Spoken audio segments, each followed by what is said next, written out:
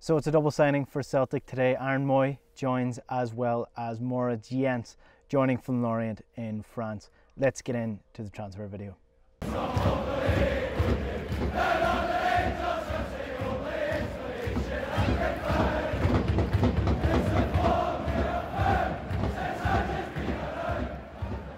So before I get into the transfer video, I want to say a massive thank you to the One Football app for sponsoring this video. The One Football app is your one-stop shop for all your football goodness. Download the One Football app using the code in the description below and you will get the best football app on the market for absolutely free. On the One Football app, you can subscribe to the team you support. It will give you one-stop shop for all of your football goodness. Transfer news, fixtures, squad updates, everything you, you need on the team that you support available now in the one place. So download the One Football app now using the link in the description below. So it's a double signing for Celtic today. Aaron Mooy joining on a free transfer and Moritz Jenz joining from Lorient. Immediate loan with an option to buy is what is being reported with the Jenz deal. I'll start with Aaron Mooy. I wrote about Mooy and what he might bring to the panel on the Breakdown Inc., the brand new website, which you can get in the link in the description below as well if you want to check that article out. But I watched a lot of Mooy when he was in the Premier League, when he was in the Championship as well with Huddersfield Town, came up into the Premier League with Huddersfield Town and then signed permanently for them. Then eventually got a move to Brighton. Didn't last very long at Brighton, but that wasn't really his fault. Uh, Shanghai actually activated his transfer clause in his contract, so I mean, Brighton didn't really try too hard to keep him either way, but he was 29 going 30 at that point in time. Now, what kind of player is Mooy? Mooy is a very tidy centre midfielder. He is good on the ball, got a very good passing range in terms of his ability to create chances, and he's an immediate goal threat as well at times. He, he took set pieces for Huddersfield when he was there. He's good on uh, free kicks, he's good on corners, and he took their penalties as well. So he is someone who is calm under pressure and is a very good, uh, let's call him a very good footballer if you want to go with the very basic tense of what he's going to bring. He's tidy on the ball, he's got a good passing range, and he's a good, strong centre midfielder. What kind of position does he play? Well, he played more of an attacking role when he was with Huddersfield and when he was with Brighton, but that was a young Aaron Mooy, that was an Aaron Mooy in his prime. We are getting a 31 going 32 in I think it's September, November time when he's 32. That's what Celtic are getting. So whether or not he's going to be the player that was at Huddersfield a number of years ago and played under Ange in Australia, that remains to be seen. What we can say is he's an experienced player who has played in the Premier League, has played international level. So he's no Joe Bloggs. He is a player with good pedigree there. What will he bring to the team that is not already there? So I sort of outlined this in my article. I can see a number of roles for Aaron Mooy at Celtic, whether or not he's going to be a backup to Cal McGregor, there's always the potential there. But in terms of what does he bring differently as I get attacked by a fucking wasp because I'm doing this outside, go away. What does he bring differently to the Celtic panel? Well, I can see him playing as a deep lying number six in a different way to Cal McGregor. So Cal McGregor is an all action number six. He's in possession, he's creating chances, he's creating play, he's dictating the pace. What I would see with Mooy is a very different number six role in terms of what he's doing. I would see him solely as a guy to be the outlet for Celtic's possessional play. So keeping possession, controlling the pace, speeding it up when you need to speed it up, slowing it down when you need to slow it down. Think what Luka Modric does at Real Madrid, what Pirlo previously would have done at AC Milan. I'm not saying Aaron Mooy is either of those players. What I'm saying is he has the capabilities to do that role, to do it well, and to do it at a strong level. So I'm interested to see if that's the approach that Ange is going to take in the Champions League, rather than go with, say, a CDM, a centre defensive midfielder, a defensively minded midfielder.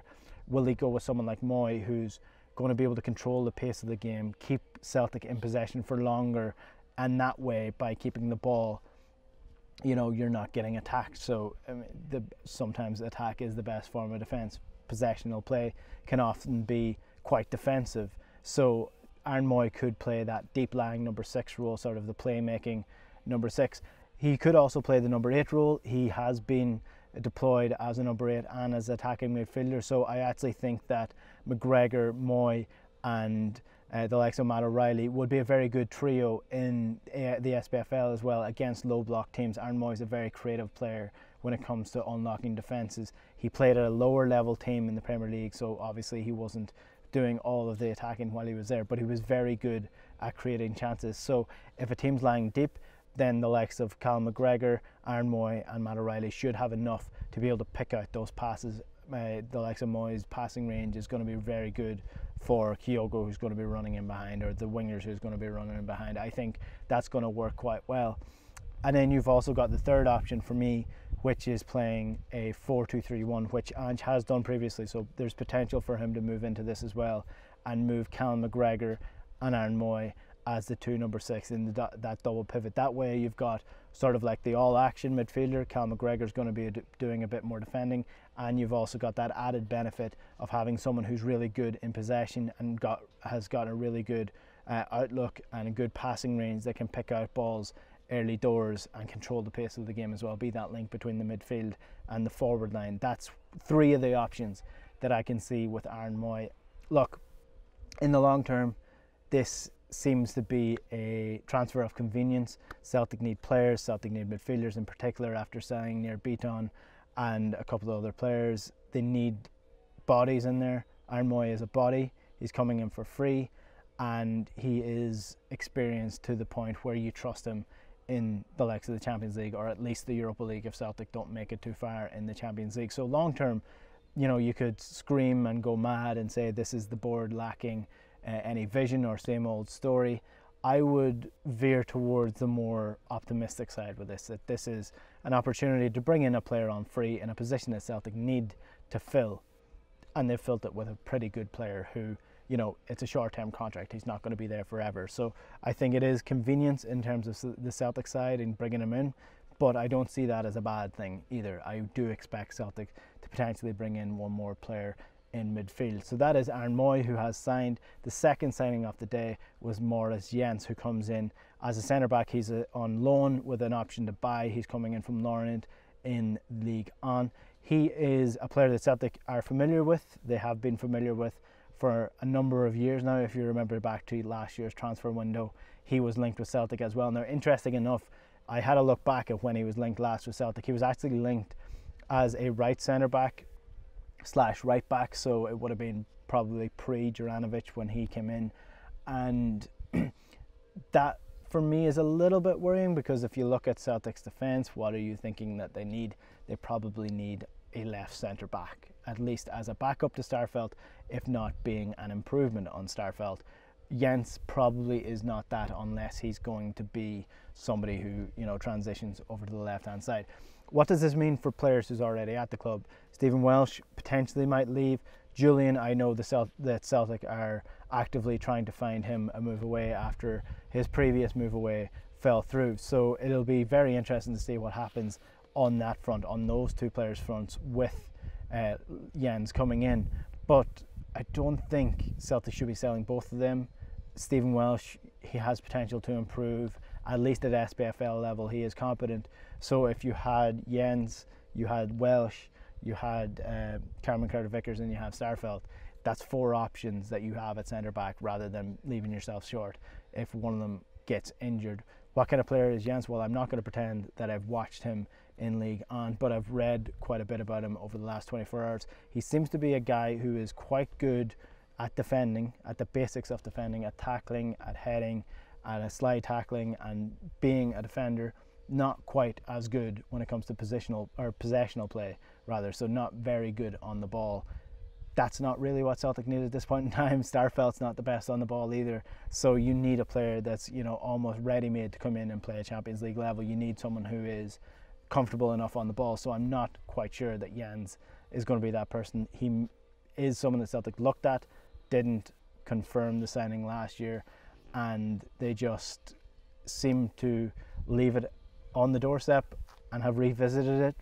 Whether or not that's because, you know, convenience once again, they have already scouted this player, they know he was pretty good, or whether or not that Ange has actually approved on him and, you know, he's not saying get him in just to get extra bodies in a centre back. So, look, two extra bodies coming in brings the transfer tally up to seven for this year if you're counting Cameron Carter Vickers and Jota, you know, they were already at the club.